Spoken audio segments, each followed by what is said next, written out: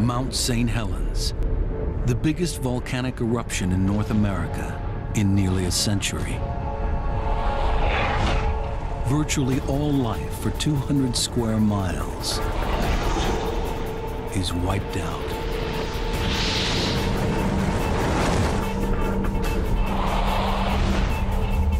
It seems impossible that life could ever return to this barren wasteland. We found that a lot of our conventional wisdom was just flat wrong. In recent years, there are ominous signs. The volcano is awakening. These things were like skyscrapers that were being shoved out of the ground. They were literally that big. A 30-year quest to understand one of the most complicated volcanoes in the world is revealing new mysteries deep inside the mountain. We don't know whether it's going to erupt explosively again in two years, or in 20 years, or in 200 years. Is Mount St. Helens preparing to erupt again? Right now on Nova. Mount St. Helens, back from the dead.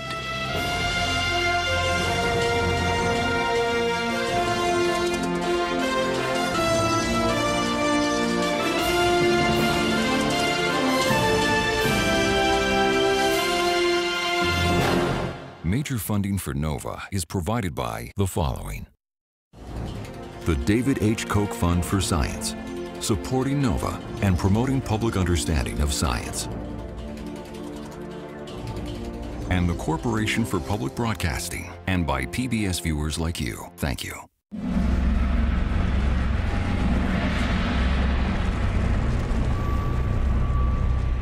October 2004.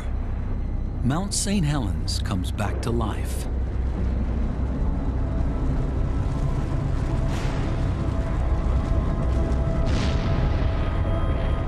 Steam and ash spew from the crater on the mountain's summit. We saw the boiling material come out of the ground. We saw that it was blasting up. It was dark and it was light at the same time. It made a plume that rose up over the rim of the caldera and came up to above our altitude to 10 or 12,000 feet. It's a frightening development. For years, Mount St. Helens has been quiet. The volcano went from quiet to unrest to eruption very, very rapidly. It could be headed for a massive explosion. It seemed possible that we were headed toward an explosive eruption. We didn't know. That was a key question. The effort to understand what is happening inside the mountain couldn't be more urgent. Is the volcano about to repeat the events of three decades earlier, when it shattered the tranquility of its peaceful surroundings?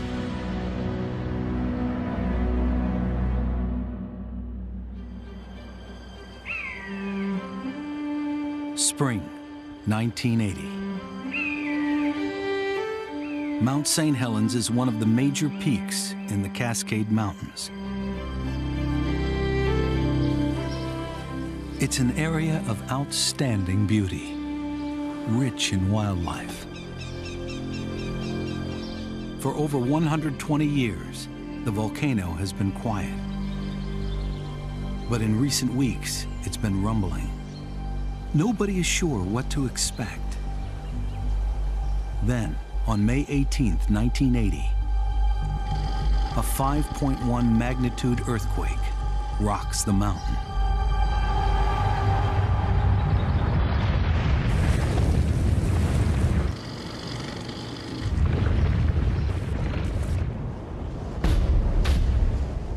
Within 10 seconds, the volcano's northern flank collapses in the largest landslide in recorded history. It releases millions of tons of magma in a colossal explosion.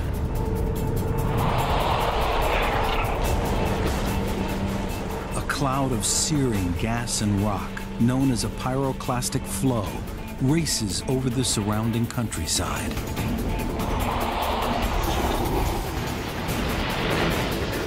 forest are flattened.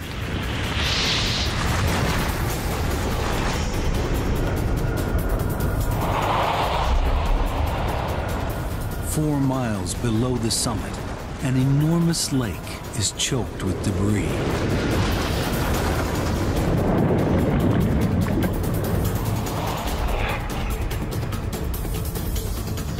The eruption continues to shoot poisonous steam and ash miles into the air.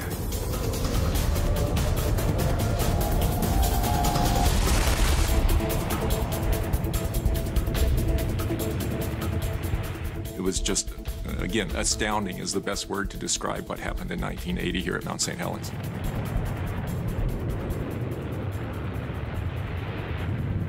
The northern slope of the mountain is buried in several feet of ash.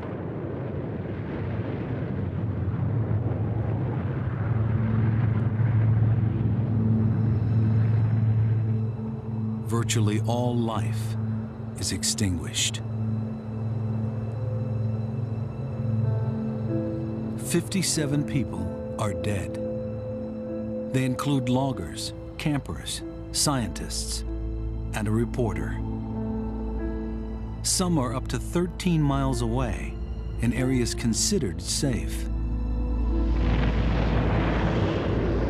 The plume of steam and ash rises miles into the sky for the rest of the day. The drifting ash cloud disrupts air traffic for hundreds of miles. The scale of the destruction is enormous.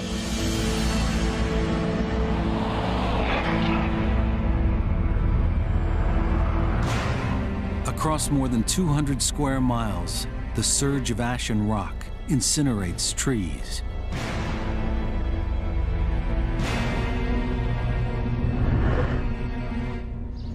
Thousands of birds from more than a hundred species disappear. Billions of insects are gone. Deer and elk are wiped out.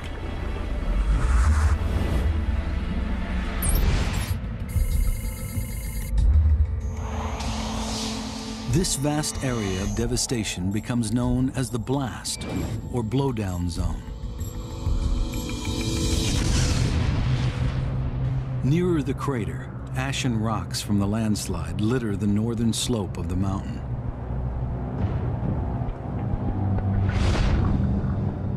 It looks like the moon. It's called the Pumice Plain. It's directly below the crater. Four miles from the volcano, the enormous Spirit Lake is scarcely recognizable. The avalanche has lifted its bed more than 200 feet. The surface is smothered in dead trees. Hundreds of species of aquatic life, including insects, amphibians, and fish, are killed. It was black water, and it degassed and bubbled, and there was hot springs that were coming up. If you were to put your fingers into your wrist and wiggle them, you wouldn't even be able to see your fingertips. That's how grossly modified the water was.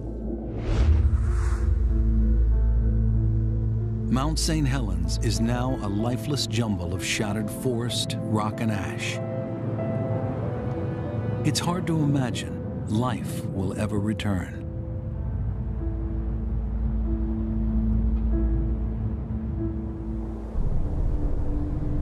The eruption was so powerful, it altered the shape of the mountain.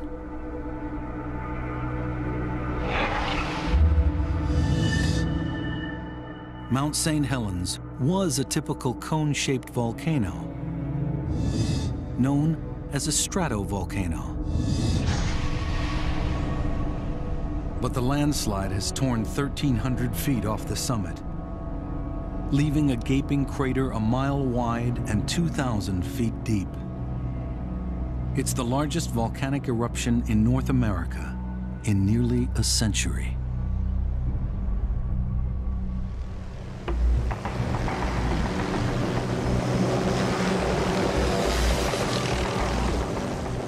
Weeks after the eruption, scientists arrive at the crater.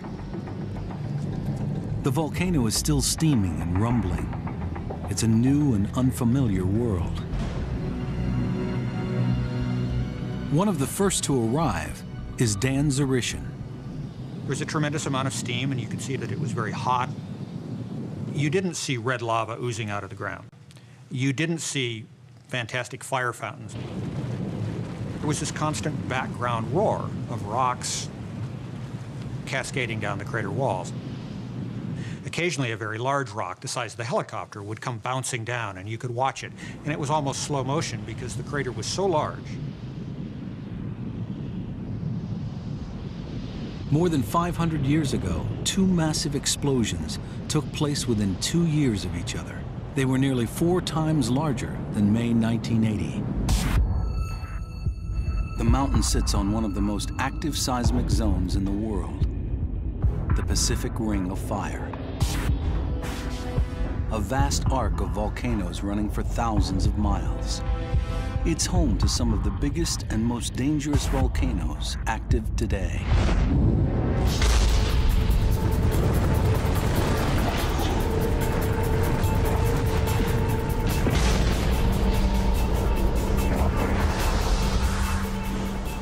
Here, the enormous plates making up the Earth's crust are being squeezed together. Along the coast, the plate below the Pacific is sliding under the North American plate. 60 miles down, pressure and friction melt the rock. Magma wells up. When it reaches the surface, it bursts out.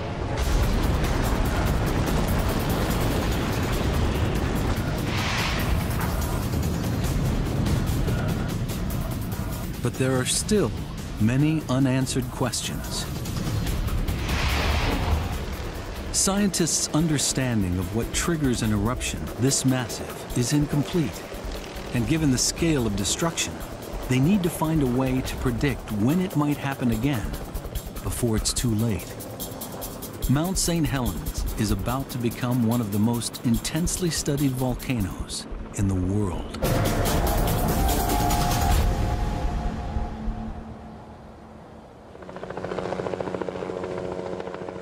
The mysteries are not just geological. Biologists want to know if any life has survived and what its future will be.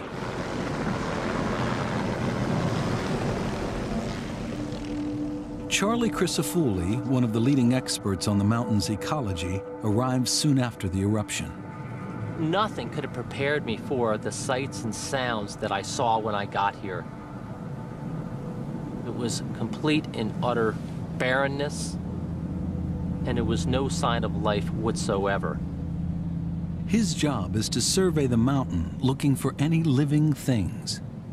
It was just intriguing to think about how would life come back to this landscape? What would the pattern be? How what would the rate be?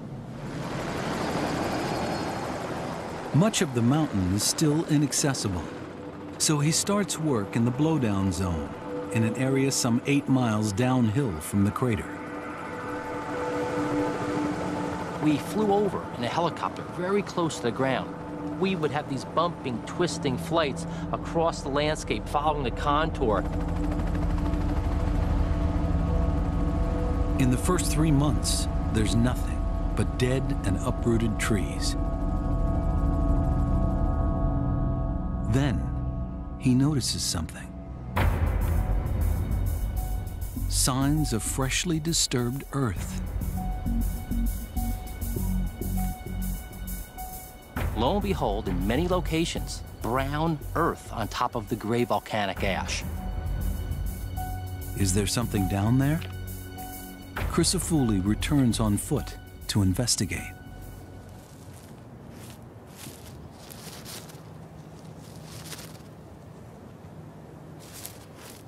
There, emerging from the ash, is a tiny burrowing animal. It's a northern pocket gopher. It was very thrilling. How can it possibly have survived when nothing else has? This tiny animal lives entirely beneath the ground, and so when the blast occurred, it would have been safely uh, protected beneath a mantle of soil and may very well have survived in many locations. Over the following months, he finds more gophers. It appears that life is returning to the mountain just three months after the eruption.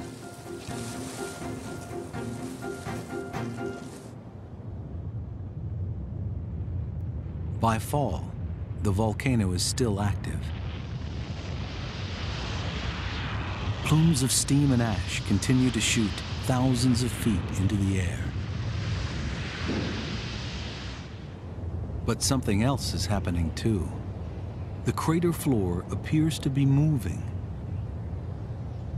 Is the mountain preparing for another major eruption? We would sometimes notice a crack that hadn't been there the day before. And by the end of the day, the crack was larger. And you realized that the ground was moving beneath your feet. It's an unsettling experience to stand on the floor of a volcano that's visibly moving. If you stood and looked very, very, very carefully with a reference point in the background, sometimes you could see it move, but just barely. The scientists set up a time-lapse camera on a nearby ridge.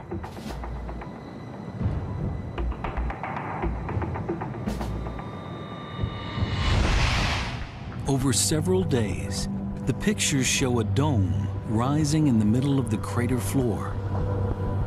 The volcano is oozing a sticky gray lava, cooling as it reaches the surface.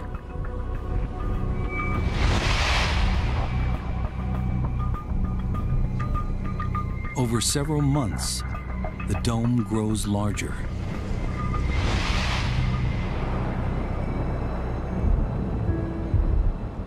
The geologists are puzzled. What is going on inside the mountain? Is Mount St. Helens simply rebuilding its summit, or is it about to blow up? We didn't know what might come next, whether the lava might continue to grow for many years, or even decades or centuries. And we didn't know if there might be explosive eruptions in store. Then, winter closes in, restricting access to the mountain. The scientists' work is limited. Answers will have to wait until spring.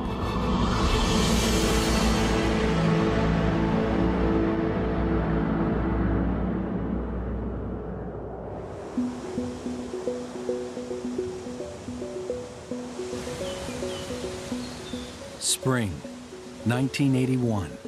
Nearly a year after the initial eruption, life returns to the hills and valleys of the Cascade Range. But on Mount St. Helens, the devastation of the previous year is still obvious. Despite the danger, Crisafulli moves closer to the active volcano's core. Pumice plain is buried in several feet of coarse ash. It's a dusty, barren wilderness. Life seems impossible. This is an area where super hot incandescent flows came down and killed all life that was here.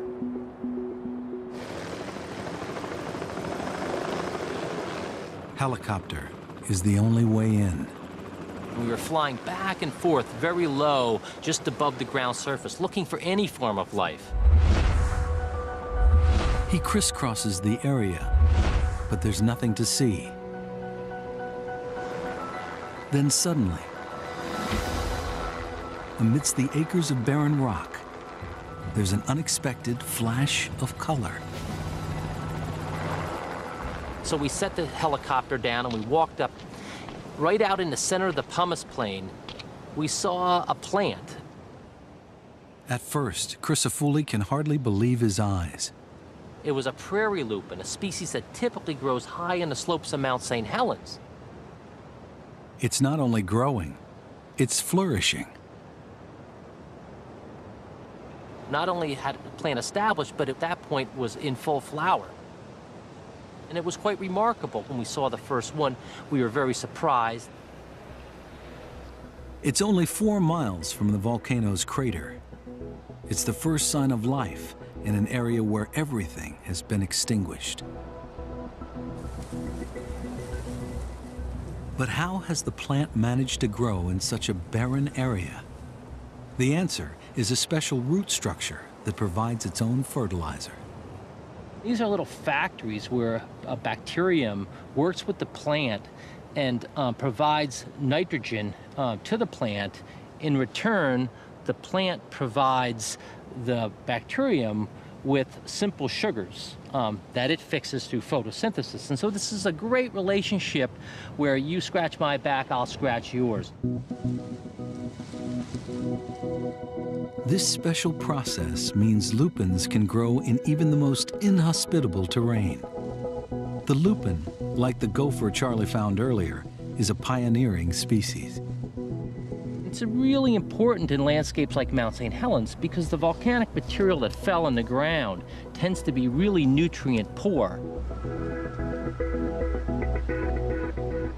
The conditions are difficult, but can the lupin pave the way for other life to follow?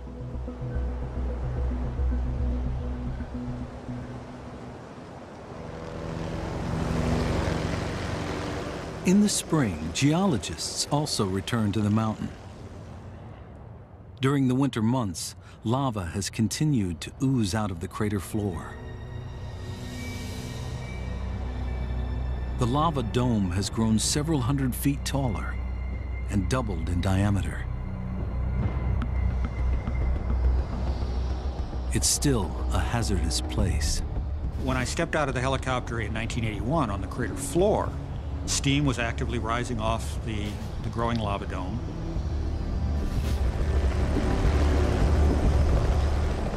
there was still a tremendous amount of noise.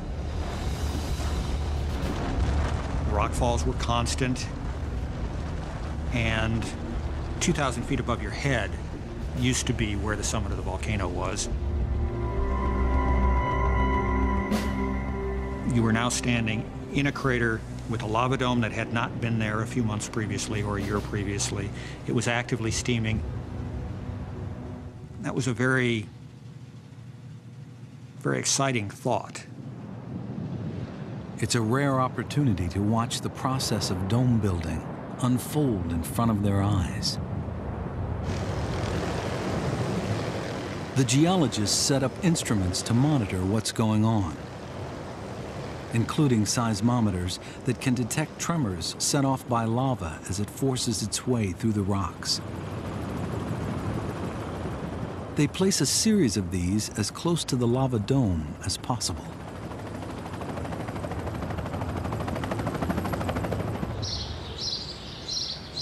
At the Cascades Volcano Observatory in southern Washington, the seismic data pours in.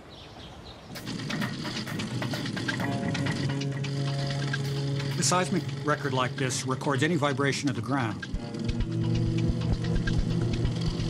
So we can see real rock-breaking earthquakes. We can see rock falls. It's our job to try to understand what all those signals mean in terms of what the volcano might do. The first traces reflect extreme activity. Here you see the record is almost continuous. One earthquake after the other. Bang, bang, bang. The seismic signal is essentially continuous.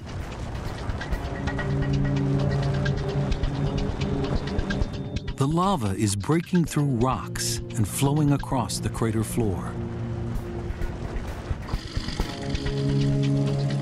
Then, the seismic record reveals a cyclical pattern.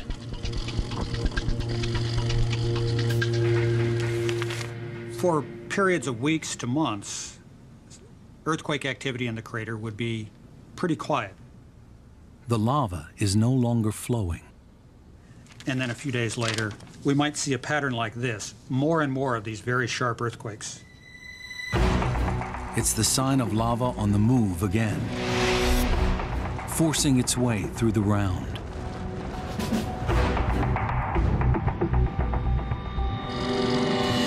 Eventually, lava would make it onto the surface, maybe in just a couple of days, and we'd see a continuous record of ground shaking, both earthquakes and rockfalls.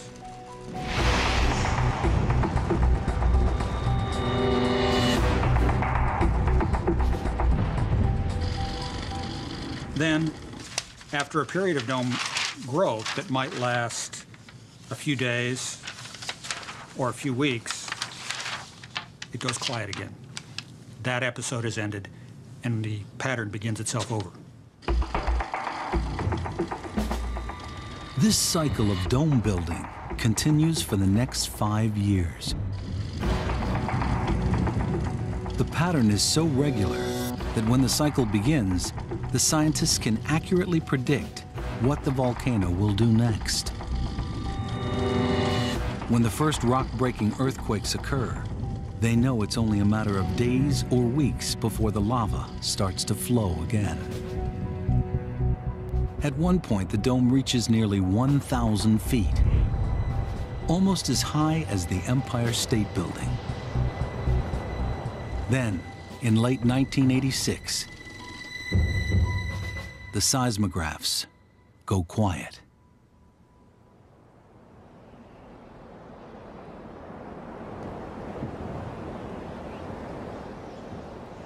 It was pretty clear that that period of dome building had ended.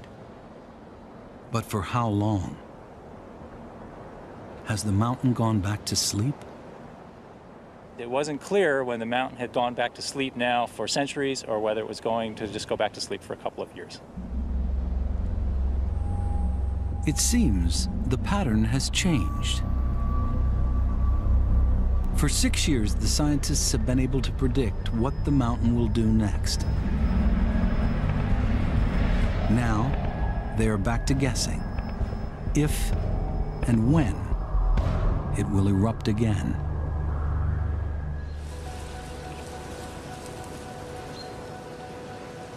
But even if the volcano has gone to sleep, the wildlife continues to bounce back.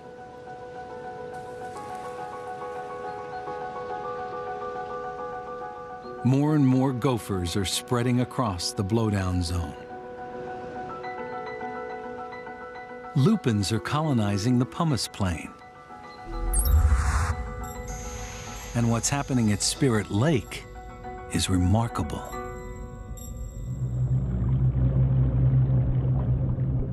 The May 1980 eruption obliterated all visible life in the lake. The surface was smothered in a blanket of debris.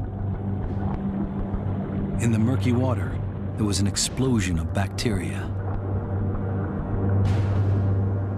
There were a couple of species of pneumonia that were described, and also the disease, the bacteria that causes Legionnaire's disease, Legionella. And so many of us working in the lakes in the early days came down with a fever. The bacteria rapidly consumed the oxygen, making life impossible for any air-breathing organisms, including fish, amphibians, and insects.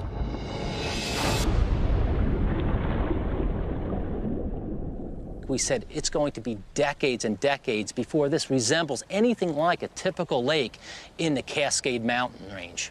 Well, we were surprised because that's not exactly what happened.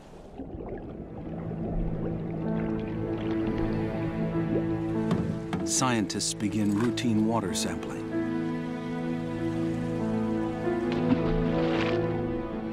It's a unique opportunity to see if and when life will return from the dead. At first, there's nothing. But as the debris settles, the water clears. Light levels improve. Then, three years after the eruption, there's a crucial discovery. Microscopic plants. They're phytoplankton, plants that turn sunlight into oxygen. They've been brought in by birds or blown in by the wind. They are the basic building block of aquatic life. Over the following months, as light levels continue to improve, the plankton population grows. In fact, between 1983 and 1986, 135 different species of these tiny plants had colonized the lake. They provide the oxygen and also the prey for the food web. Sunlight, oxygen, and food. Several years after its complete destruction, Spirit Lake is coming back to life.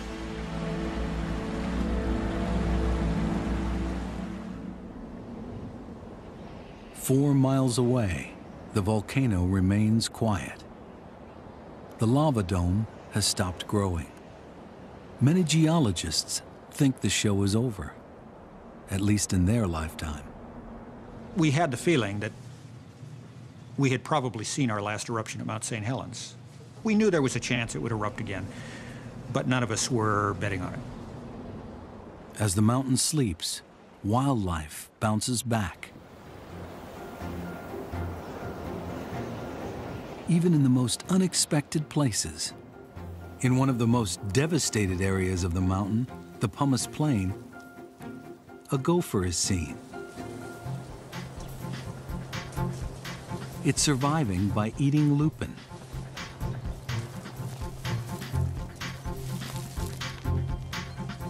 Lupins provide the food. Gophers enrich the pumice by burrowing their way through the ash.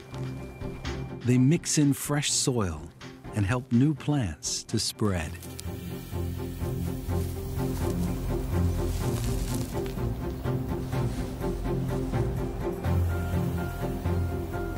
When you walked around the landscape, it was those islands created by gopher-turned soils that were very green and full of flower and seeds. The gophers also play another role in helping wildlife spread. Crisafulli finds a salamander in a gopher's tunnel. What's interesting about the gopher is they create kilometers of underground tunnel systems. Elk are returning to the area, helping to expand this amazing web of life.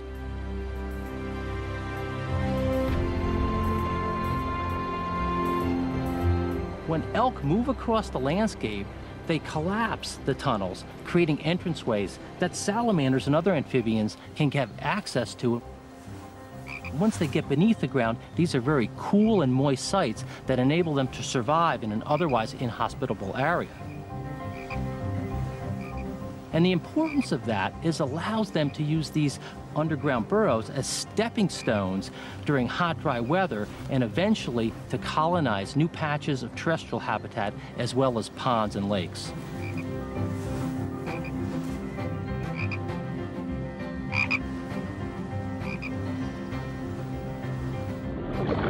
Spirit Lake now teems with amphibians.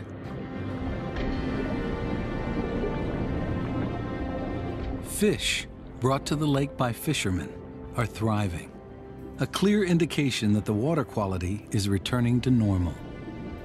What's happened with the fish was actually remarkable. While we don't have a good handle on the total number of fish, we know from our snorkeling and, and uh, surveys that the population is enormous.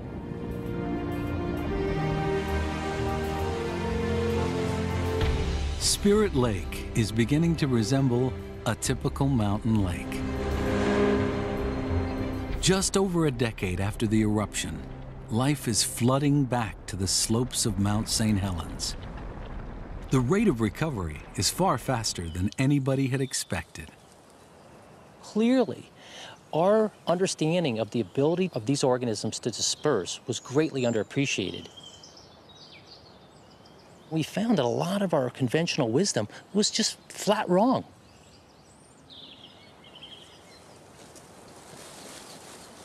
Then, as life recovers, new threats emerge. In September 2004, the seismographs at the Cascades Volcano Observatory pick up a new series of tremors deep below Mount St. Helens. The volcano has woken up. John Pallister takes a helicopter to investigate. You could see the absolute beginning of the eruption. It was unusual, really unusual, to just happen to be there in a helicopter, the crater rim on the upwind side, so the plume was going away from us. Pallister has no idea how big this eruption will be. We saw the boiling material come out of the ground. We saw that it was blasting up. It was dark ash coming out and light steam coming out at the same time. Made a plume that rose up over the rim of the caldera and drifted downwind. The speed and suddenness of the eruption catches everybody by surprise. The volcano went from quiet to unrest to eruption very, very rapidly.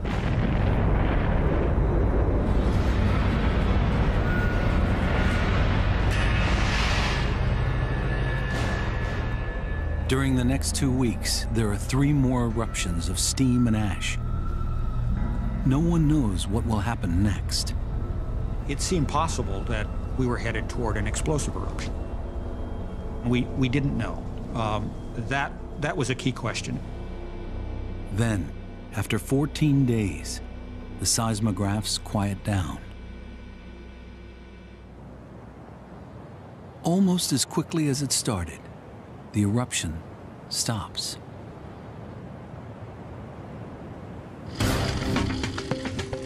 But then something strange happens. Over the next few weeks, the seismographs pick up a new pattern of tremors the geologists have never seen before.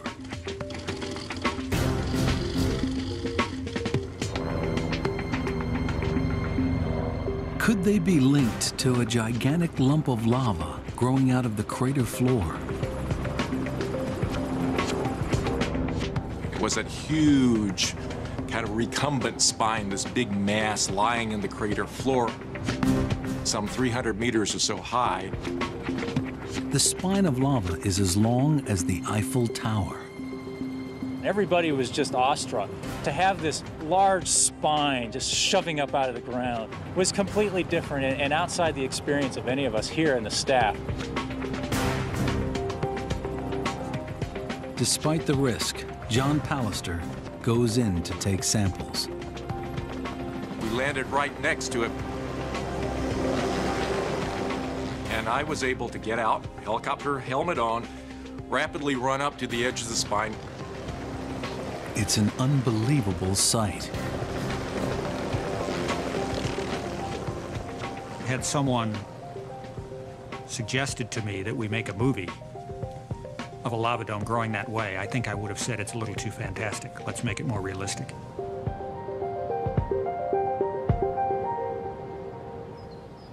At the observatory, where geologists have been puzzling over the strange seismic traces,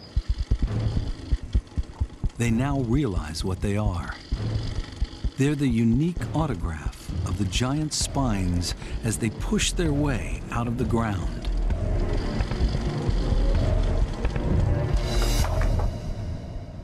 This is the seismic signature of solid blocks of rock grinding their way through the volcano, coming out onto the surface.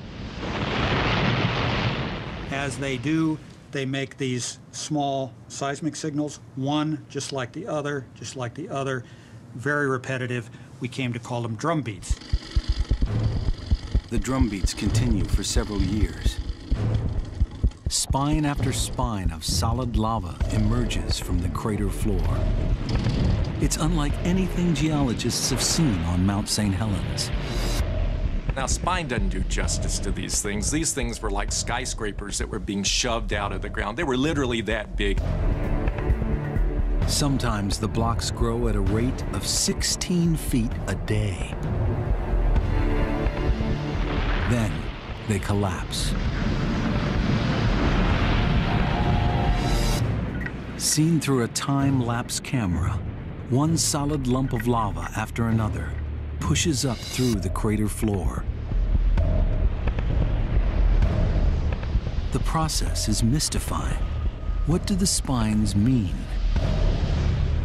Why was the eruption in 2004 so different than the style of eruption in the 1980s? Why in the 1980s did you have this more fluid lava that created these sort of short, stubby lava flows that came out and built the lava dome? Whereas in 2004, you basically had solid rock being pushed up in the ground. There's one urgent question. Is the volcano building up to another major eruption? Trying to make sense of what was going on was a challenge. Trying to understand how the eruption was going to progress was a challenge. We had lots of discussions about whether or not it was going to be an explosive eruption, whether it was going to be another dome building eruption. There is one way to find out. Analyzing samples of the lava might explain the mysterious solid blocks and what they mean for the future.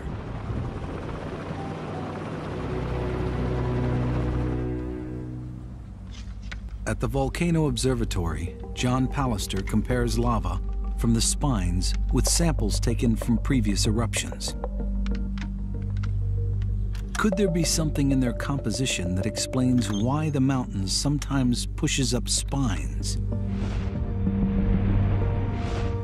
Sometimes oozes lava.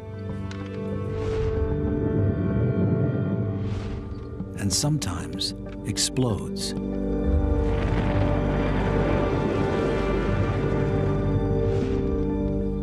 Pallister begins with a sample of the lava that erupted so explosively in May 1980. He's immediately struck by the large areas of blue. Okay, so what's important about this 1980 rock is um, the abundance of this blue area, which, and that's basically bubbles. Now that's not a mineral, that's just open space in the thin section. That's where gas bubbles were. This sample would float in water, it had so much gas in it. The gas comes from water, a component of the magma. As magma rises, changes in pressure turn the water into gas. The gas pressurizes the magma. It's what gives volcanoes their explosive force. 1980 had a lot of gas in it, so it exploded, tore itself apart in a tremendous explosive eruption.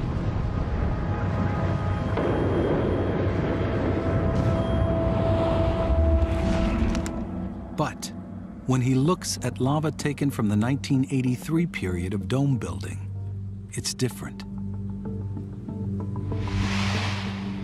There is much less of this open space, of the gas filling space in the rock. The 1983 lava behaves like a bottle of soda going flat. Finally, he looks at a sample of lava from one of the spines in 2005. I don't see any blue space, any of that. Oh, there's just a little bit, but dominantly it is it is lacking in space. It's a gas poor magma, except in fact, almost none. There's just enough gas to push it to the surface. But by the time it gets there, there's nothing left. So this one came up slow, and it made sticky solidified spines instead of making either lava flows or an explosive eruption. It's a crucial insight. The amount of gas determines the nature of the lava and the force of the eruption. It all comes down to the gas budget for the eruption. Is it going to fizzle or is it going to explode? Suddenly, the mountain's behavior makes sense. The spines are a sign the magma under Mount St. Helens is running low on gas. Then, in 2007, as if to confirm this new insight, the familiar drumbeat seismic traces vanish completely. No more spines appear. The lava below the mountain has finally run out of gas.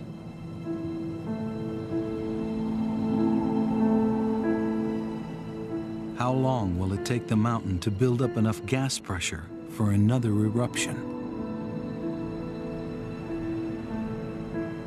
I think that's the most important question we have to answer. How long does it take to build up the gas necessary to drive an explosive eruption? That's now the question they need to answer.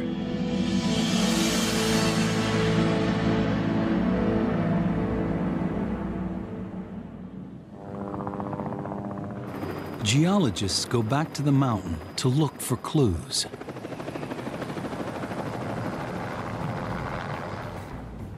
The eruption in 1980 took the top off Mount St. Helens, leaving its history exposed in the rock walls of the crater.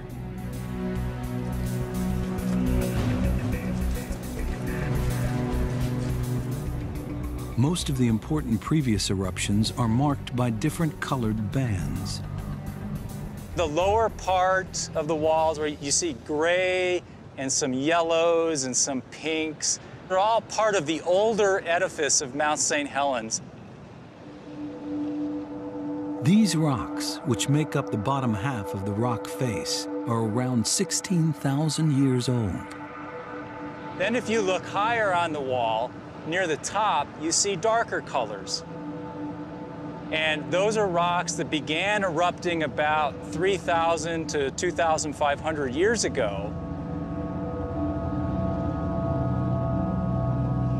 So by looking at the what we call the stratigraphy and this magnificent exposure of the rock types in the crater walls, we can piece back the puzzle and understand the history as far as eruptive activity at Mount St. Helens. Do the rocks give any indication how long it takes to build up enough gas between eruptions for the sleepy mountain to awake again?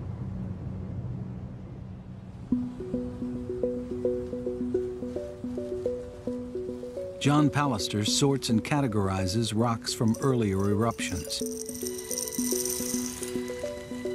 He checks notes and photos to try and determine how often the mountain has erupted violently. Drawing on previous records, he builds up a picture of Mount St. Helens past. For much of the last 4,000 years, there seems to be a fairly clear pattern.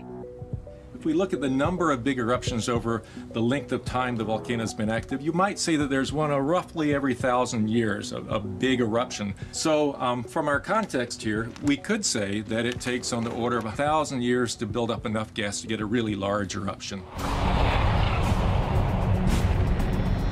The record suggests some of these eruptions have been huge.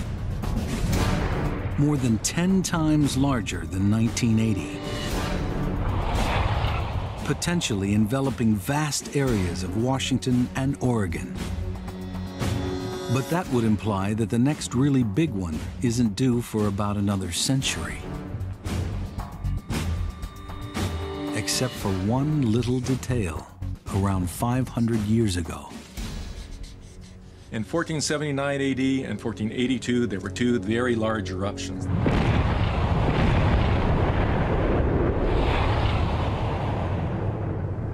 So the volcano is capable of surprising us in producing two highly explosive eruptions in a span of less than three years. Both these eruptions were much bigger than May 1980. There is no straightforward pattern. Mount St. Helens can pause for a thousand years between big explosive eruptions, or it can pause for three. These results have left geologists with one certainty and a number of questions. First of all, we expect this volcano to erupt again. Has repeatedly in the past. There's no reason to think it's going to sleep in forever now. There will be another eruption. But nobody can determine when or just how big it will be. We don't know whether it's going to erupt explosively again in two years, or in 20 years, or in 200 years. That's an area that needs a lot more work, a lot more research to understand, and it is of fundamental importance to being able to forecast and to save lives and to save property.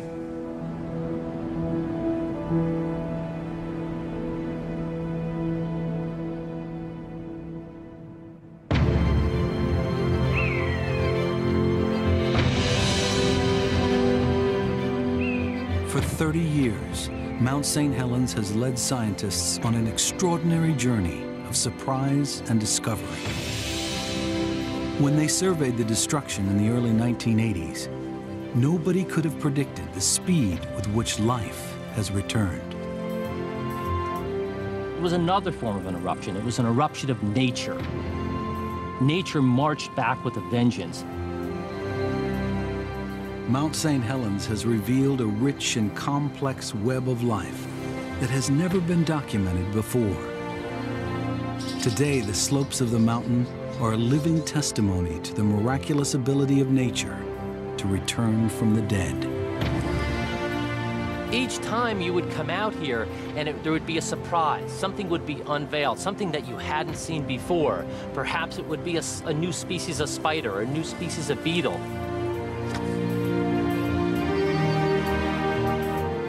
Nature is very resilient, and that is the take-home message from 30 years of ecological work on the Mount St. Helens volcano.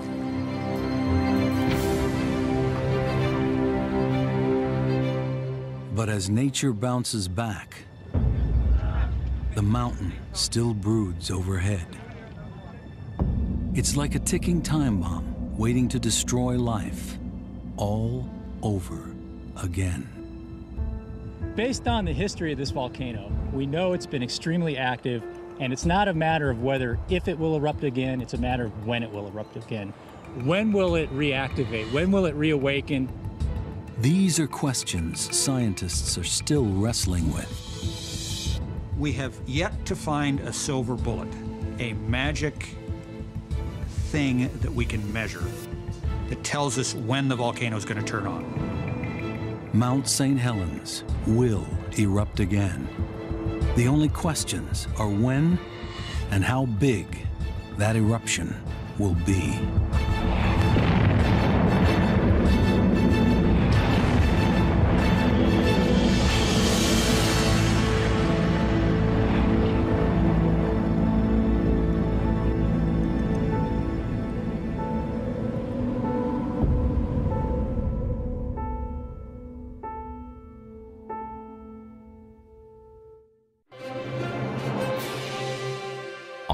Mount St. Helens website, go behind the scenes with director Daniel Hisson, see stunning images of the landscape's remarkable return to life, and more.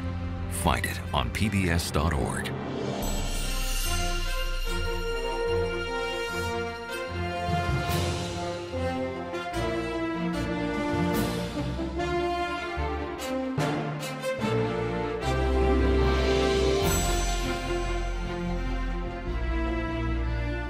This Nova program is available on DVD at shoppbs.org or call 1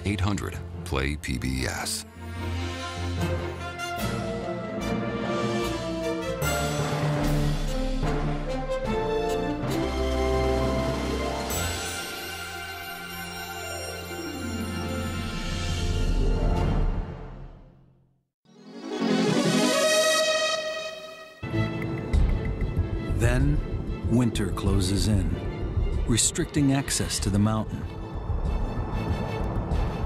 The scientists' work is limited. Answers will have to wait until spring.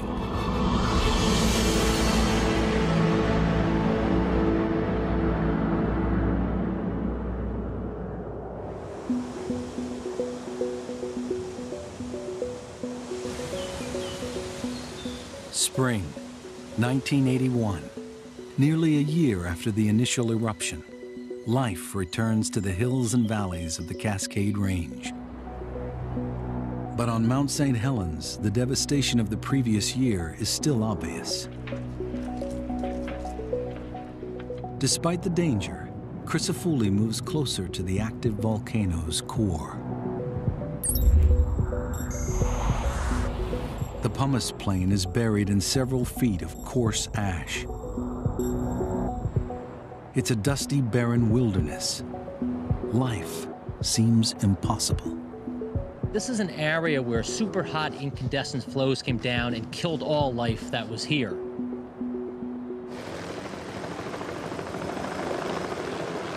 Helicopter is the only way in.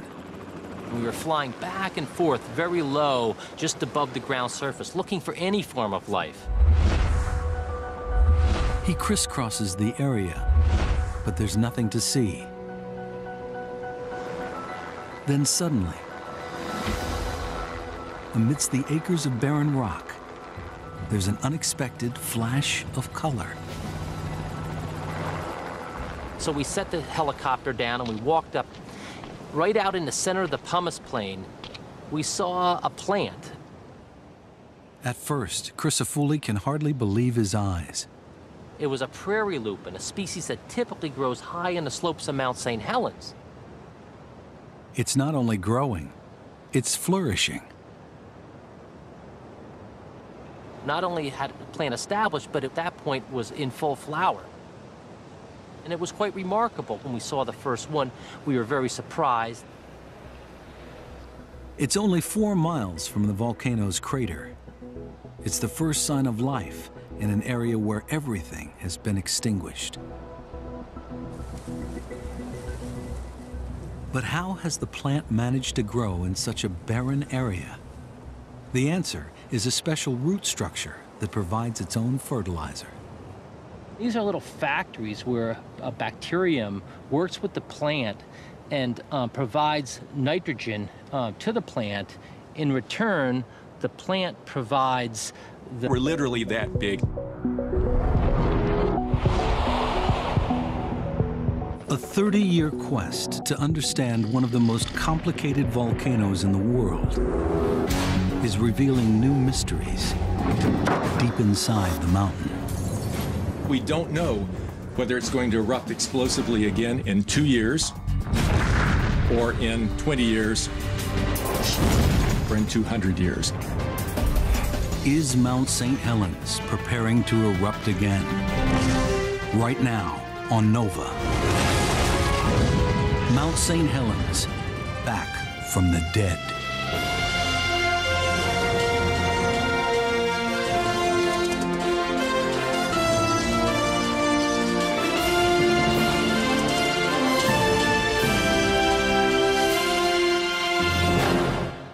Funding for NOVA is provided by the following.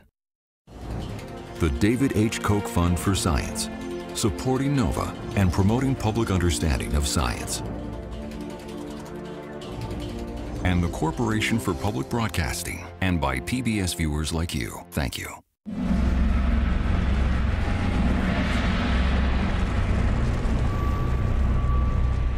October 2004. Mount St. Helens comes back to life.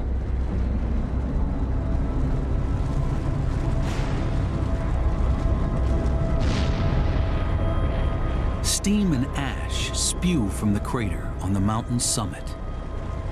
We saw the boiling material come out of the ground. We saw that it was blasting up. It was dark and it was light at the same time. It made a plume that rose up over the rim of the caldera and came up to above our altitude to 10 or 12,000 feet. It's a frightening development. For years, Mount St. Helens has been quiet. The volcano went from quiet to unrest to eruption very, very rapidly. It could be headed for a massive explosion. It seemed possible that we were headed toward an explosive eruption. We didn't know. That was a key question. The effort to understand what is happening inside the mountain couldn't be more urgent.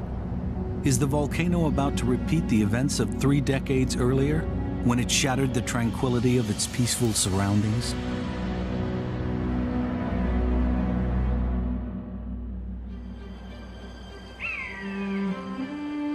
Spring, 1980. Mount St. Helens is one of the major peaks in the Cascade Mountains.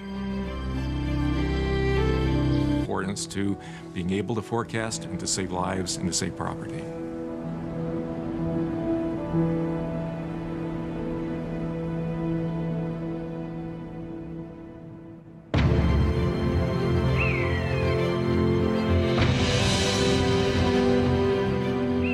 For 30 years, Mount St. Helens has led scientists on an extraordinary journey of surprise and discovery.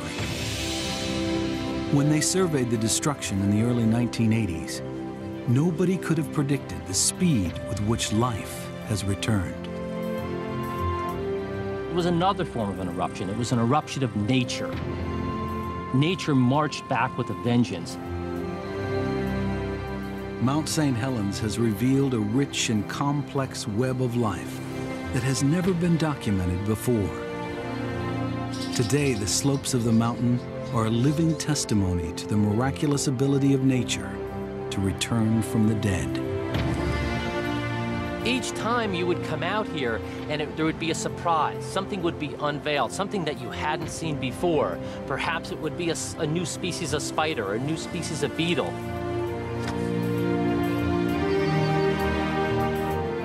Nature is very resilient, and that is the take-home message from 30 years of ecological work on the Mount St. Helens volcano.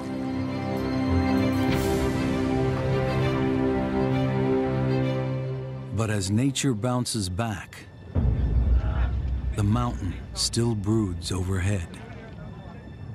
It's like a ticking time bomb waiting to destroy life all over again.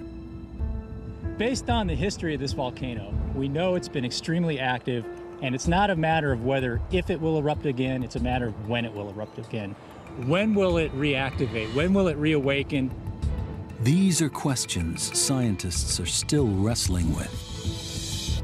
We have yet to find a silver bullet, a magic thing that we can measure that tells us when the volcano is going to turn on. Mount St. Helens will erupt again. The only questions are when and how big that eruption will be.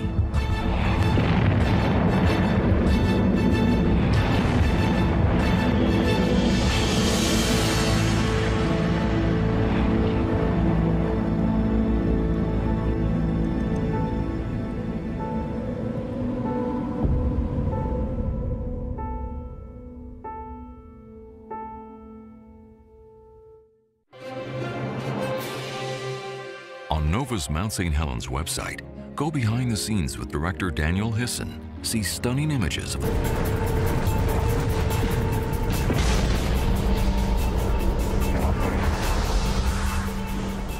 Here, the enormous plates making up the Earth's crust are being squeezed together. Along the coast, the plate below the Pacific is sliding under the North American plate. 60 miles down, pressure and friction melt the rock. Magma wells up. When it reaches the surface, it bursts out.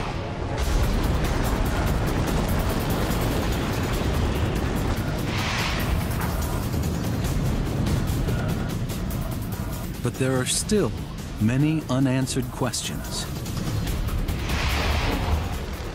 Scientists' understanding of what triggers an eruption this massive is incomplete. And given the scale of destruction, they need to find a way to predict when it might happen again before it's too late.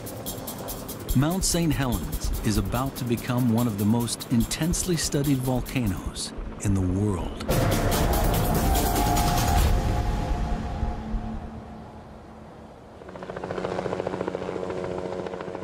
The mysteries are not just geological. Biologists want to know if any life has survived and what its future will be.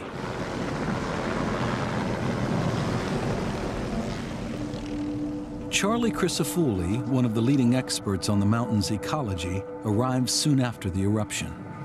Nothing could have prepared me for the sights and sounds that I saw when I got here. It was complete and utter barrenness, and there was no sign of life whatsoever.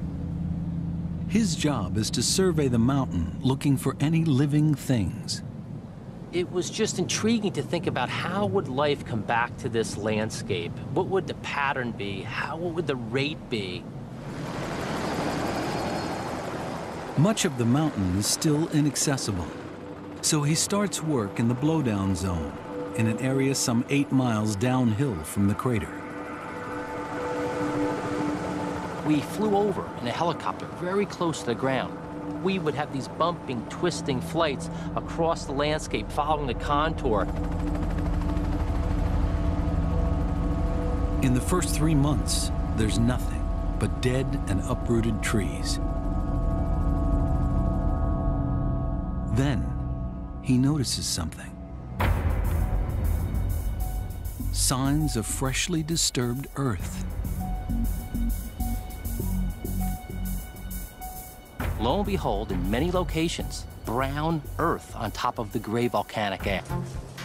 It's surviving by eating lupin.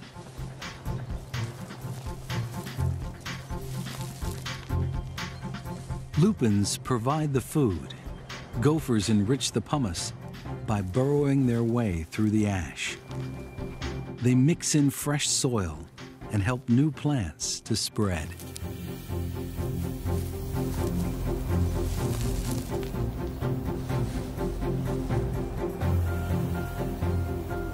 When you walked around the landscape, it was those islands created by gopher-turned soils that were very green and full of flower and seeds. The gophers also play another role in helping wildlife spread. Crisafulli finds a salamander in a gopher's tunnel. What's interesting about the gopher is they create kilometers of underground tunnel systems. Elk are returning to the area, helping to expand this amazing web of life.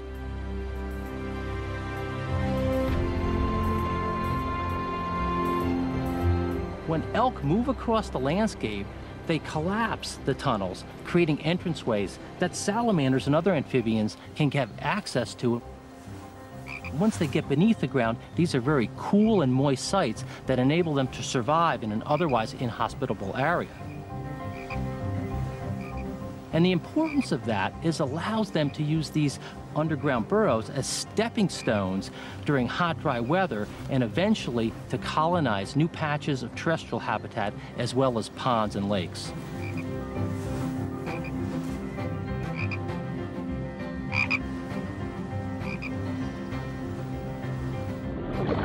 Spirit Lake now teems with amphibians.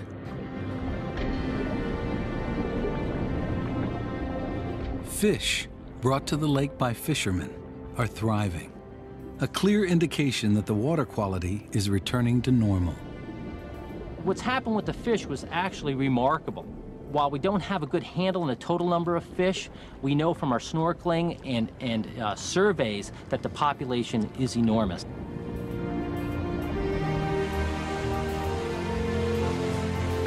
Spirit Lake is beginning to resemble a typical mountain lake. Just over a decade after the eruption, life is flooding back to the slopes of Mount St. Helens. The rate of recovery is far faster than anybody had expected. Clearly, our understanding of the ability of these organisms to disperse was greatly underappreciated. We found that a lot of our conventional wisdom was just many of us working in the lakes in the early days came down with a fever. The bacteria rapidly consumed the oxygen, making life impossible for any air-breathing organisms, including fish, amphibians, and insects.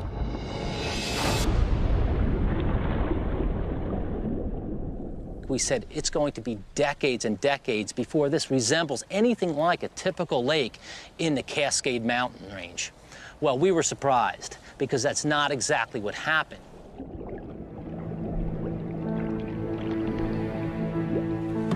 Scientists begin routine water sampling.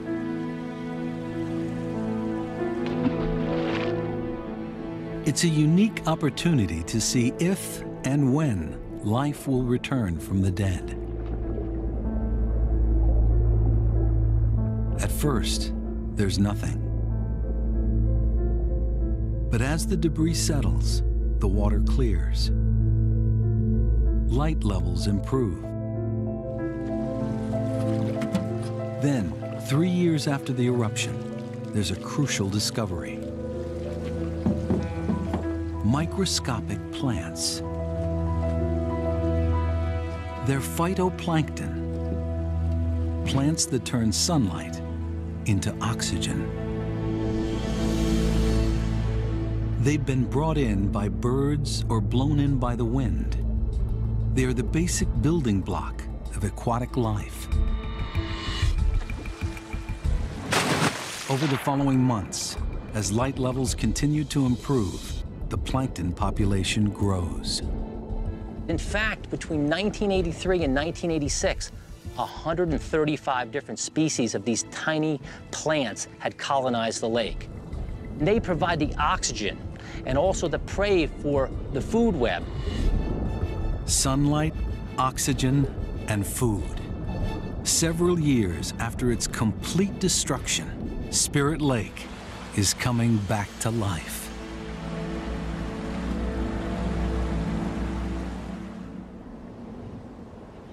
Four miles away, the volcano remains quiet. The lava dome has stopped growing. Many geologists think the show is over, at least in their lifetime. We had the feeling that we had probably seen our last eruption at Mount St. Helens. We knew there was a chance it would erupt again, but none of us were betting on it. As the mountain sleeps, wildlife bounces back. Even in the most unexpected places, in one of the most devastated areas, the water was. Mount St. Helens is now a lifeless jumble of shattered forest, rock, and ash. It's hard to imagine life will ever return.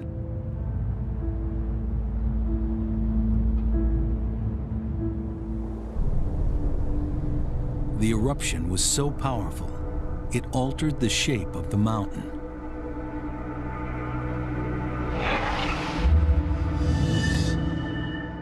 Mount St. Helens was a typical cone-shaped volcano, known as a stratovolcano. But the landslide has torn 1,300 feet off the summit, leaving a gaping crater a mile wide and 2,000 feet deep. It's the largest volcanic eruption in North America in nearly a century.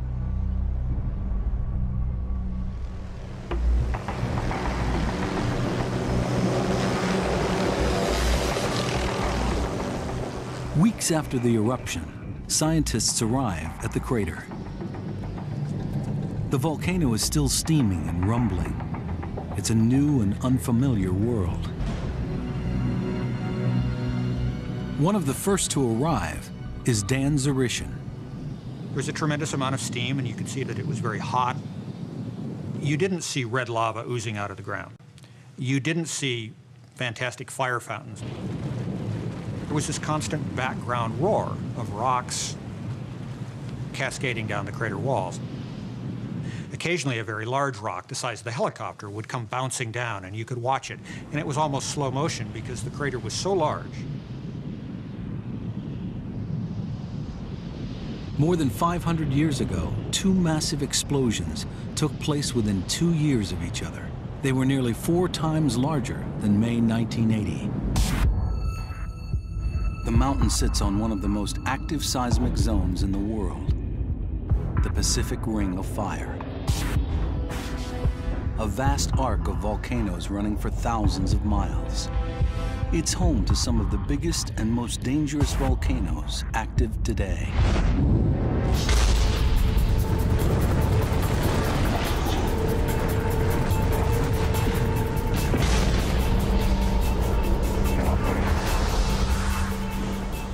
Here, the enormous plates making up the Earth's crust are being squeezed together. Along the coast, the plate below the Pacific is sliding under the North American plate. 60 miles down, pressure and friction.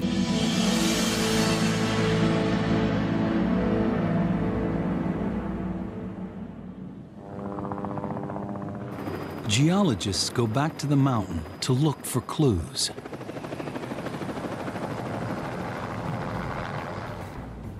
The eruption in 1980 took the top off Mount St. Helens, leaving its history exposed in the rock walls of the crater.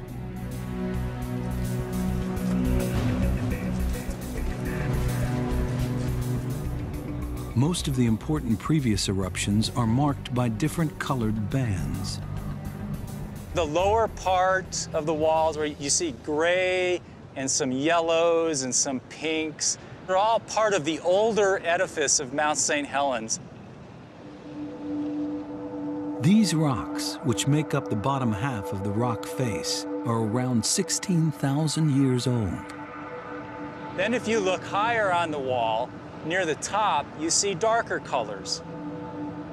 And those are rocks that began erupting about 3,000 to 2,500 years ago.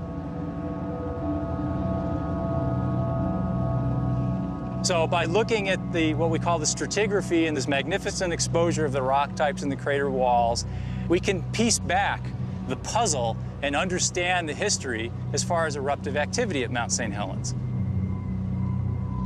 Do the rocks give any indication how long it takes to build up enough gas between eruptions for the sleepy mountain to awake again?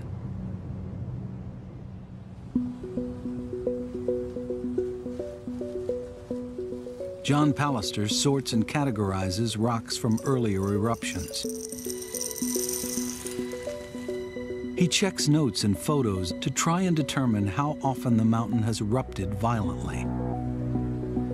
Drawing on previous records, he builds up a picture of Mount St. Helens past. For much of the last 4,000 years, there seems to be a fairly clear pattern. If we look at the number of big eruptions over the length of time the volcano's been active, you might say that there's one roughly every thousand years, a, a big eruption. So um, from our context here, we could say that it takes on the order of a thousand years to build up enough gas to get a really large eruption. The record suggests some of these eruptions have been huge.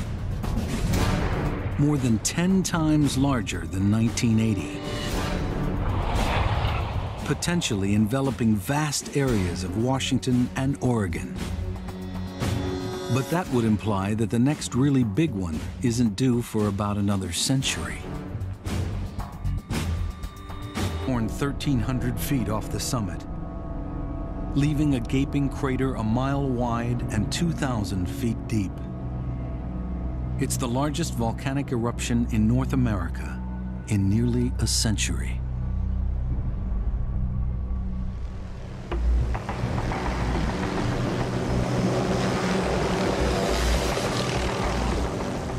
Weeks after the eruption, scientists arrive at the crater. The volcano is still steaming and rumbling. It's a new and unfamiliar world. One of the first to arrive is Dan Dzurisin.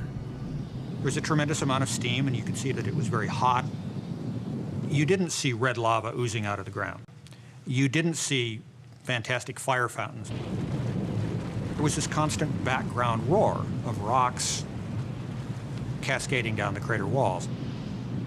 Occasionally, a very large rock, the size of the helicopter, would come bouncing down, and you could watch it. And it was almost slow motion because the crater was so large. More than 500 years ago, two massive explosions took place within two years of each other. They were nearly four times larger than May 1980. The mountain sits on one of the most active seismic zones in the world, the Pacific Ring of Fire. A vast arc of volcanoes running for thousands of miles. It's home to some of the biggest and most dangerous volcanoes active today.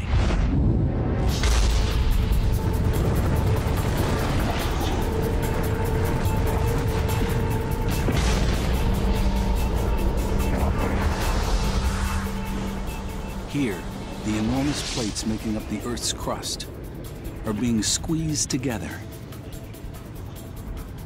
Along the coast, the plate below the Pacific is sliding under the North American plate. 60 miles down, pressure and friction melt the rock. Magma wells up. When it reaches the surface, it bursts out.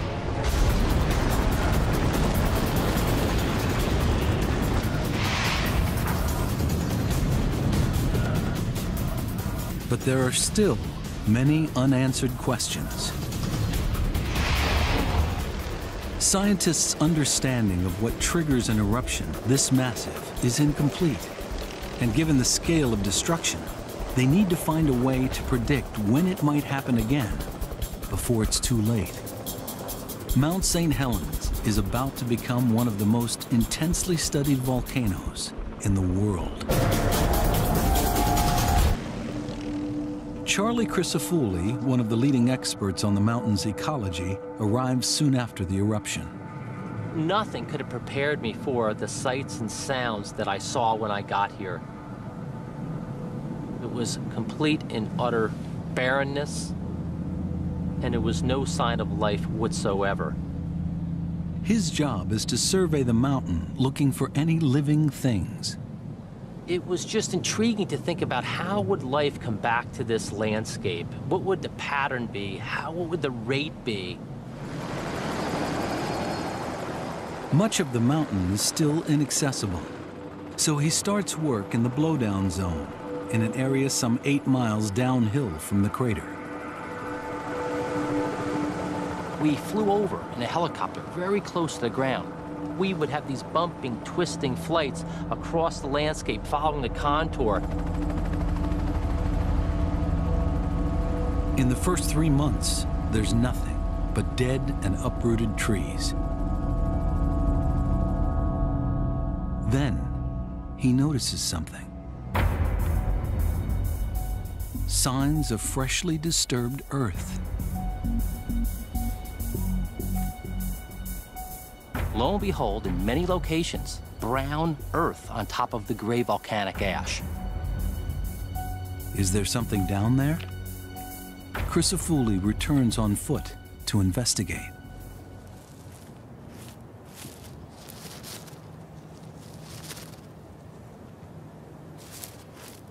There, emerging from the ash, is a tiny burrowing animal.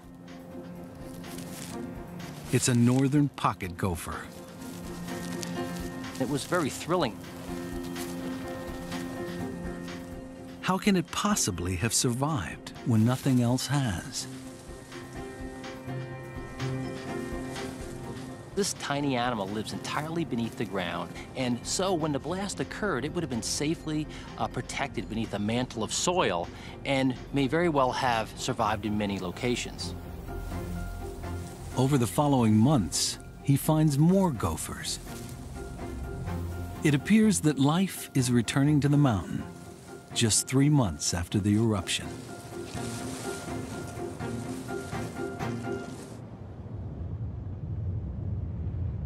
By fall, the volcano is still active. Plumes of steam and ash continue to shoot thousands of feet into the air. But something else is happening too. The crater floor appears to be moving, been huge. More than 10 times larger than 1980. Potentially enveloping vast areas of Washington and Oregon. But that would imply that the next really big one isn't due for about another century. Except for one little detail around 500 years ago. In 1479 AD and 1482, there were two very large eruptions.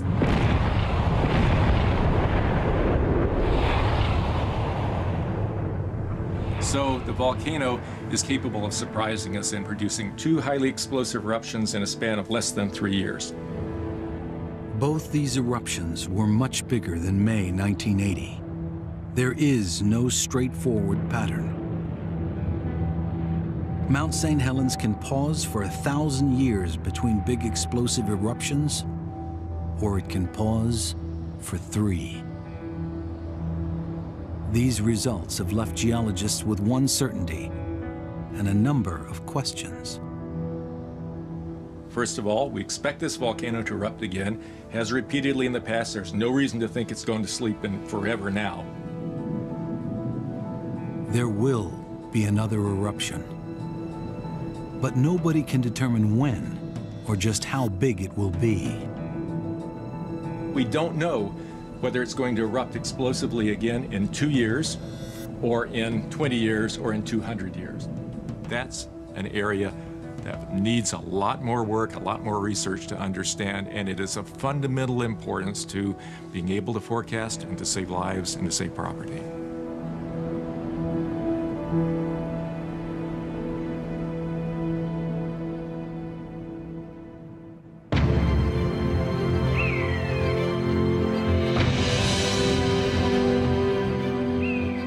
30 years, Mount St. Helens has led scientists on an extraordinary journey of surprise and discovery.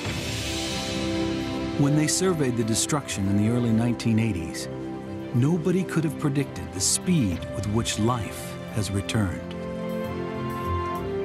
It was another form of an eruption. It was an eruption of nature. Nature marched back with a vengeance. Mount St. Helens has revealed a rich and complex web of life that has never been documented before. Today, the slopes of the mountain are a living testimony to the miraculous ability of nature to return from the dead. Each time you would come out here and it, there would be a surprise. Something would be unveiled, something that you hadn't seen before. Maybe in just a couple of days, and we'd seeing a continuous record of ground shaking, both earthquakes and rockfalls.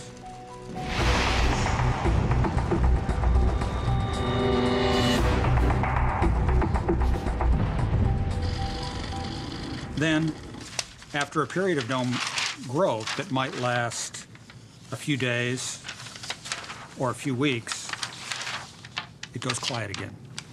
That episode has ended, and the pattern begins itself over. This cycle of dome building continues for the next five years. The pattern is so regular that when the cycle begins, the scientists can accurately predict what the volcano will do next. When the first rock-breaking earthquakes occur, they know it's only a matter of days or weeks before the lava starts to flow again. At one point, the dome reaches nearly 1,000 feet, almost as high as the Empire State Building. Then, in late 1986, the seismographs go quiet.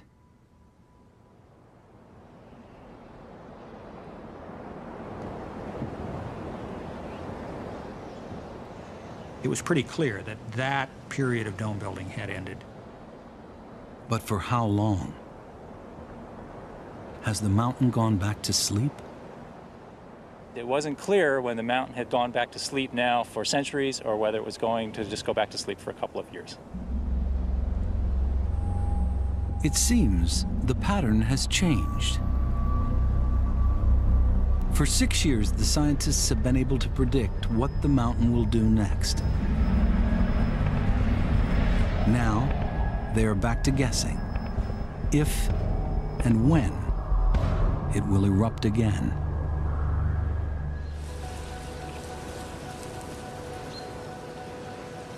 But even if the volcano has gone to sleep, the wildlife continues to bounce back.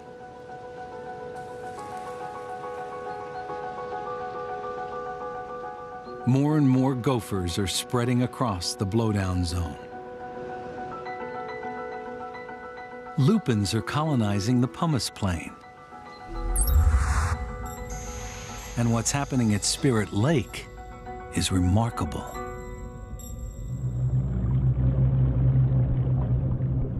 The May 1980 eruption obliterated all visible life in the lake. The surface was smothered in a blanket of debris. In the murky water,